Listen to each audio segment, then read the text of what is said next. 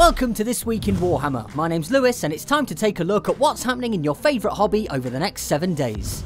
We're travelling to the Mortal Realms this week with some fantastic pre-order releases for Warhammer Age of Sigmar. The final chapter of the Dawnbringers narrative arrives in Book 6 Hounds of Chaos, which sees both Crusades face the forces of ruin that threaten their newly founded strongholds. This book is also available in a stunning limited edition.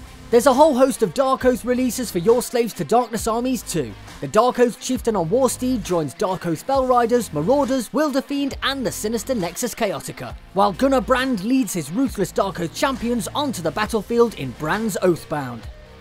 Plus, the Everchosen's greatest lieutenant rides out along with his Varanguard in a Dawnbringers box set, Abraxia's Varan Spear.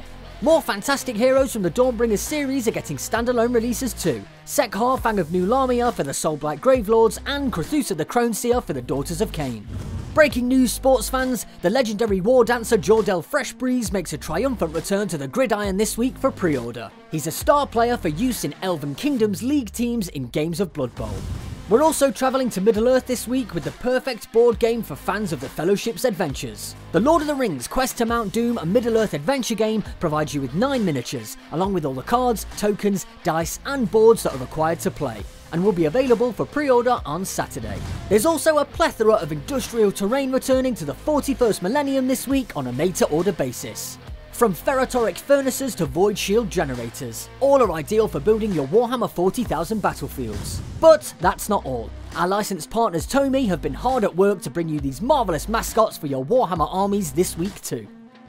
The Black Library has opened its doors once again, Dark Oath, a Gunnar Brand novel by Chris Thursten, will be available in hardback, ebook, and audiobook formats, alongside Realmslayer, Legend of the Doomseeker by David Guymer in paperback.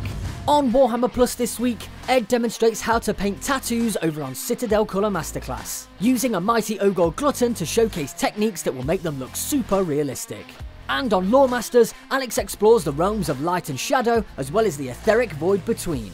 Their celestial dance creates the cycle of night and day across the realms, so we'll dive into what makes these two realms so special, and what dwells in the etheric void.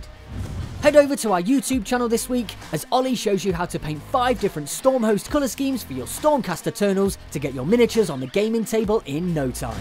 Whatever Warhammer hobby you're up to this week, head to the Sunday preview article over on Warhammer Community to find out more about all of the upcoming releases. Make sure to keep up to date with all the latest news by following us on the Warhammer Community website, as well as Facebook, YouTube, Instagram, X, and Twitch. That's all for this week. We'll see you next time.